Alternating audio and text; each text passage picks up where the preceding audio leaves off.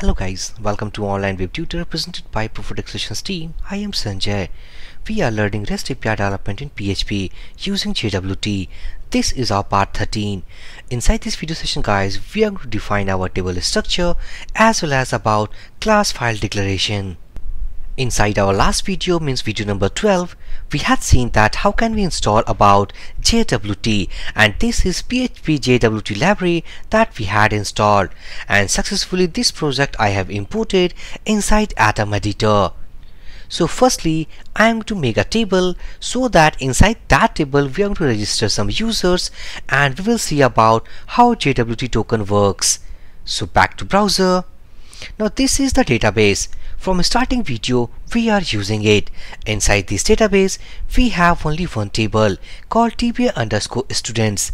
Now inside this, I am to make one more table something TBL underscore let's say users and inside this table we have let's say five columns.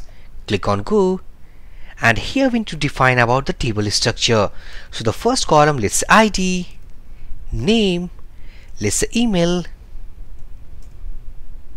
let's say password. It should be created at and the default value of created at let's say that this should be timestamp data type and current timestamp it as its current default value. Here it should be varchar and let's say password should be 20 characters of length.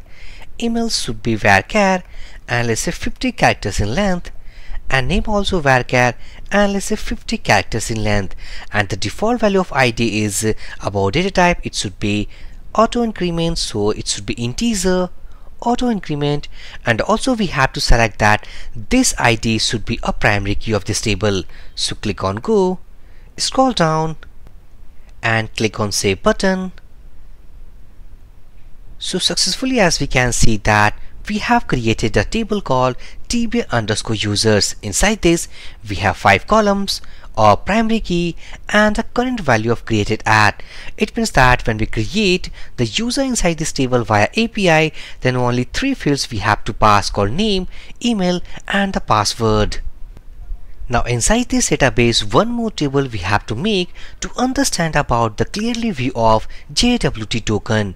So click on database now we are going to create one more table, let's say TBL underscore, let's say projects.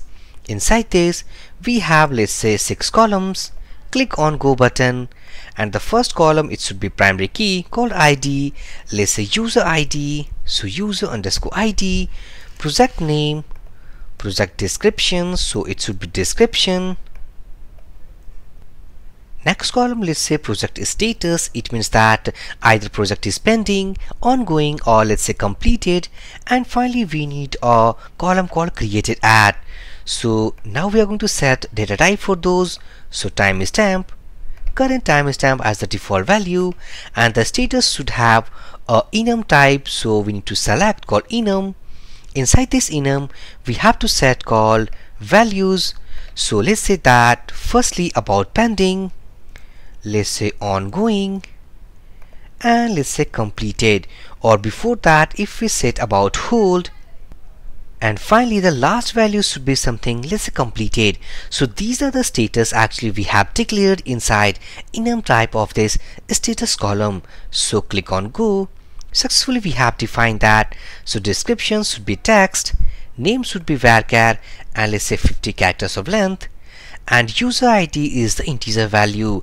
And this is the user ID basically we have taken from the tbl underscore users table. So go here. Now let's say that these all columns basically contain null values so null null here null here. And the first column should be auto increment and the primary key. So select all these values and finally click on save button so why we have created TBL underscore projects table? Because via API we are going to see that how can we register users and those users will save inside TBL underscore users table. On the behalf of these respective users, we will create some projects via another APIs and we will save inside this table. And finally, via another set of APIs using JWT token concept, we will fetch all the data from this TBL underscore users table and TBL underscore projects. So all the necessary two table structure we have defined. Now this time we are going to next define about the class file definition. So back to Atom Editor. Now let's say that inside this classes folder, firstly we need to change about and I think that inside this config the same database we are using called REST API PHP. Only this time we are using different different tables. So close this database.php and inside this classes folder, right now we have no file inside this folder. So first file I'm going to create, let's say users.php and inside this I'm to declare our class. So let's say php class, let's say users and inside this we have to define our properties first. So let's define about properties. So define properties of this class. And let's say that public we want about if you go to table structure. So this time we have two tables. And from the same class means users class we going to save all those data inside these two tables. So if you click on a structure so we want something name so let's say public name. If we copy and paste and the second column we want called email next we want about password. So let's say password. So all the things of this table has been done. Now for this table we want about user id so here define about user underscore id next we want about project name so if I write here something let's say project underscore name and next we want about project description so copy that pasting here and final the variable we want something called status. This is all about project status we have. So copy and paste. So finally we have declared all the public variables which we will access via v1 files now this time we are going to define our connection variables so let's say this should be private. Let's say connection. Next private variable something let's say table name. So this should be table underscore name. So after declaring about the properties next we are going to define about the construct function. So let's say public function and let's say construct. And inside this construct function firstly I am to pass a db variable here. By the help of this db we are going to initialize our connection variable. So this connection equal to db and this db variable we will pass from v1 files. So successfully we have initialized this variable with the database connection. Next we have to define about this. Let's say table name and the table name for this JWT API tutorial we are going to use called TBL underscore users. But remember inside this we have two tables. So firstly let's say users underscore TBL. If I copy and paste the second table we have called projects table. So the first table let's say users underscore TBL here we are going to define called tbl underscore users table name. So if I copy and paste and the second table we have called tb underscore projects so copy the table name and pasting here. So inside this class file declaration we have defined a class.